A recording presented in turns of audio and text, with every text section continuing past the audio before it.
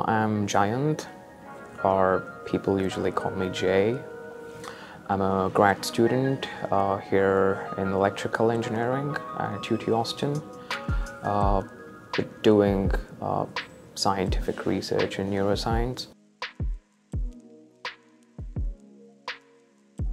What happens when an animal navigates um, or doesn't navigate well 2000 years ago, if you asked the same question to an Indian or a Greek philosopher, he would come up with an answer saying, I'm just interested in the question.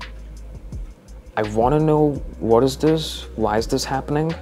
When it comes to that point, all barriers between departments, colleges, disciplines, they break down.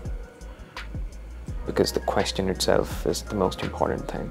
So what I'm doing right now is recording from neurons in a rat's brain while the rat runs around a circular track.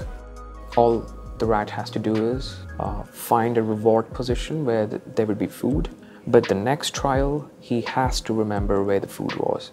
It, it's, it's a very simple task, but it seems like rats do mistakes. The lab recently discovered is there are specific signatures you can look for which show a difference when the rat does this task correctly as opposed to when it does it incorrectly.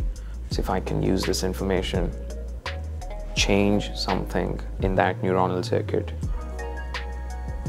and make the rat do, do the task correctly.